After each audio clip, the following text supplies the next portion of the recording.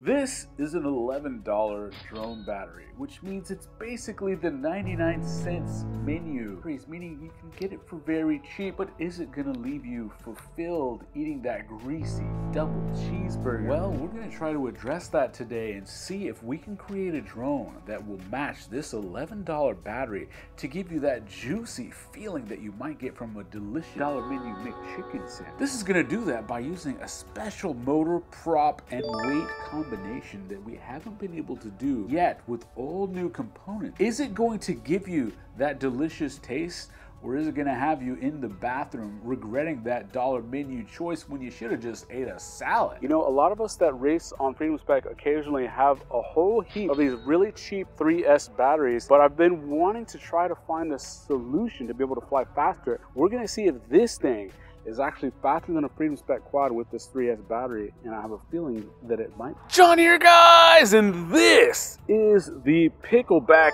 Racer, a collaboration between the Pickle Frame designers and Darren over Everything Micro. This is meant to be the lightest possible racing style 5 inch that you can get, and this has HD Zero. And tonight we're going to be trying the new HDZero Nano V2 camera. This also has this special 3D printed camera protective holder for that Nano 2 camera made by Ryan Cube, the HDZero tester. And how does that work? Because isn't that for the switchback? Well, that's why this is the pickleback. This uses all of the switchback pro prints and we're going to see if you can make an HDZero 5 inch that's lighter than just about any other 5 inch racing machine out there and can it use these $11 Freedom Spec batteries and be faster than a Freedom Spec quad? Today's video is brought to you by Major League Drone Racing, the future of live sports entertainment. Drone racing turns flying drones into a competitive sport. Major League Drone Racing. So you can use all the same switchback prints. You can see here I have the switchback fin, the switchback antenna holder, and this is the lightest possible setup you can get. This has the Foxeer Reaper in here, the 25 by 25 all-in-one, and this is the HDZero 1S video transmitter and that's going to get you the lightest possible configuration for HDZero racing that you can get. This comes in at 207 grams. Now how did I get so light? That's because this is Foxeer's Datura motor, the 2105.5 and it's 2950 kV. We're going to try this on 3S, 4S, 5S, and if it doesn't explode, maybe we'll even try it all the way up on 6S and go all the way up. Now this tiny motor has an M3 shaft, but it has a little spacer in there that allows you to use M5 full-size props, and that's what this is doing. Let's take this on the track here at the world famous Houston Night Spot and see how it performs. Here is this pickle racing machine. This is the top plate that's meant to fit the HDZero Racing VTX. This was cut at CNC Madness. Thanks to Darren over at Everything Micro for getting me his creation. First thing that I noticed is it's very thick. So it's kind of a similar formula to the new thing that Emax just made that Hawk 5 Apex. And the cool thing about it is that it uses all the same 3D prints as the 533 switchback. Darren did an awesome job with this design along with the pickle team. In the end though, it's just a little bit too light for my taste. The speed is actually not a problem. When you're going really, really fast, it actually is easy to adjust for that altitude management, that height management. You want to stay low so you can go through the gates. But on sharp turns, I have a tendency to pop up a little bit too much because of its light weight. Golly, I'm having a bitch of a time keeping it on the ground. For me, the best combination was one of these very cheap 3S Freedom Spec batteries. They're only like $11. So this has really been exciting to me because it's faster than Freedom Spec. I can reuse some of these cheap batteries in which I have a lot of them. And when I just want to get some packs, keep the weight very light, keep the overall cost very low, uh, something like this would do. I think Freedom Spec though in general, the traditional formula is probably gonna be a little bit better racing practice overall because there's more races set up for that format. But if you did want something very light, you could adjust to all of those things that I mentioned having issues with over time.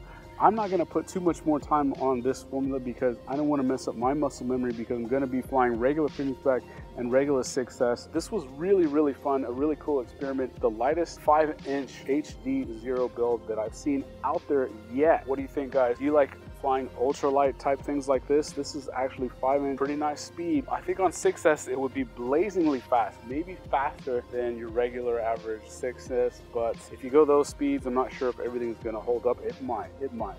But then again, like it's not like the regular Switchback Pro is the most durable frame on the market. It's not meant to be. It's meant to be fast. It's meant to be light and still pretty strong, but it's not as strong as like the open racer that I typically fly. So I'm really comparing more to that ultimate durability standpoint than something like an ultralight. So when a lot of people start flying, they really want the lowest price overall solution. And when you need multiple batteries and they end up banged up like this whenever you crash, an $11 price point is really attractive. We'll have links for all this stuff below.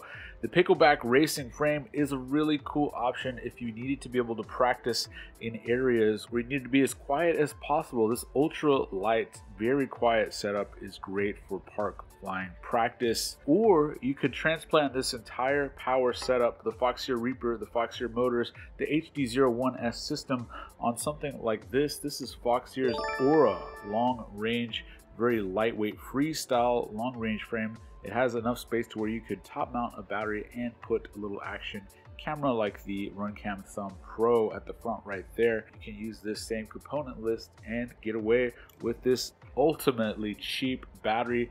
These actually also make really excellent goggle batteries. So I've been using this for my Orqa goggles, my SkyZone goggles, DJI goggles, they have a really nice capacity, and for the money, they're just super cheap. I've been wanting that solution that I could reuse these Freedom Spec batteries, of which I have a ton of, to actually do some park flying, some light racing. When everyone else is flying Freedom Spec, and you don't want to waste your 6S batteries, being able to rip this thing around at faster speeds than everyone else is pretty fun.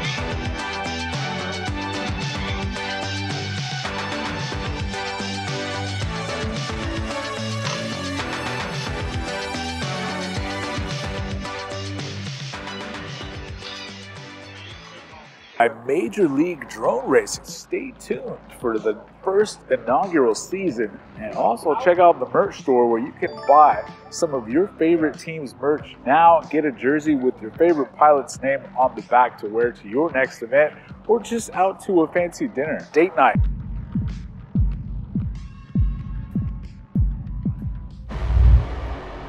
There we go. That's the pickleback. Yes. Yes Through this gate, over, oh. Strip, then through this gate this way.